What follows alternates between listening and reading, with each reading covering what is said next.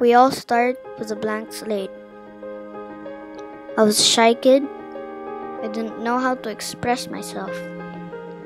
I was always the quiet one. I was not confident enough to speak up and to show who I really was.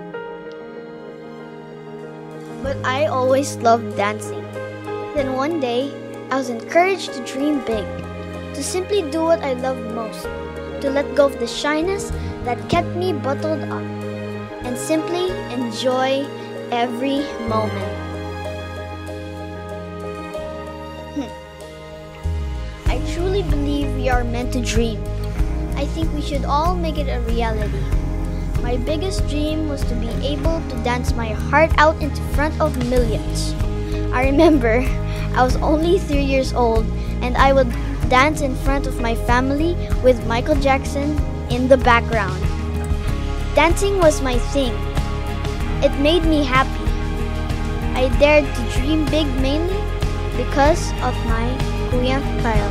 What can I say about my sister? Uh, I encouraged her to follow her dreams and passion.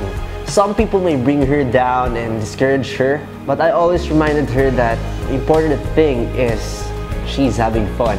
And I was and always will be behind and support her. Whatever happens. That's it. Um, my Kuya Kyle encouraged me to dream big. He inspired me to embrace my passion.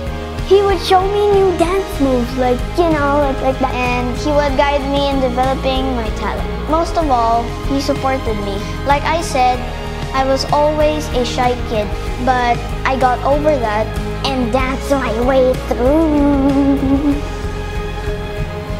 To all the kuyas and ates out there, you should all set a good example and have patience for the younger ones.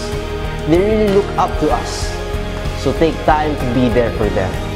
Some people are not lucky as me to have their kuya encourage them to dream big.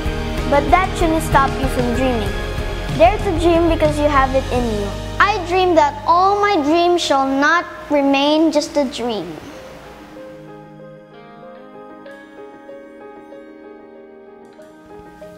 If you have a big dream and you need some help, we might just be able to help you.